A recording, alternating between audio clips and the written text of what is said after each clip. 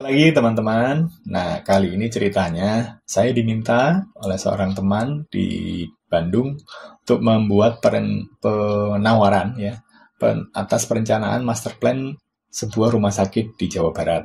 Nah, kemudian dari situ saya punya bukunya, mengoleksi buku ini, maka ya saya buka-buka lagi ya buku yang berjudul Arsitektur Rumah Sakit Ditulis oleh Bapak Adi Utomo Hatmoko, Ibu Wahyu Wulandari. Nah, beliau ini adalah dosen saya yang sangat sangat smart gitu ya menurut saya dan sangat ramah gitu ya.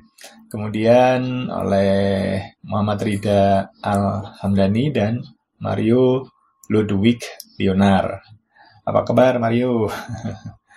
ya, ini buku rujukannya uh, global atau garis besar isi di dalamnya yang ingin saya kemukakan di sini.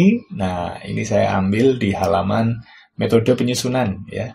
Metode penyusunan uh, master plan ya di sebelah kiri ini adalah studi kelayakan, bisnis plan, kemudian detail program, sebelah kanan evaluasi aset, physical master plan, detail program, kemudian uh, saling ber ah ya, saling berhubungan gitu, kemudian menghasilkan uh, eh, DED gitu ya.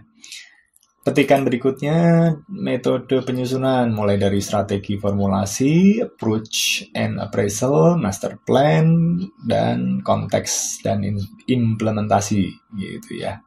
Nah, Uh, selanjutnya di halaman yang menampilkan kerangka master plan ya.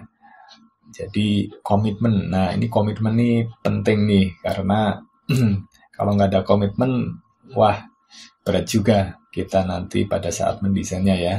Karena hubungannya dengan perencanaan strategis dan akhirnya ya harapannya kinerja dari rumah sakit itu akan meningkat ya akreditasinya paripurna gitu ya.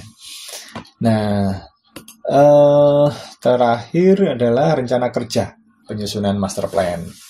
Nah, di sini ada eh, rencana kerja secara strategis dan rencana kerja eh, secara fisik gitu ya.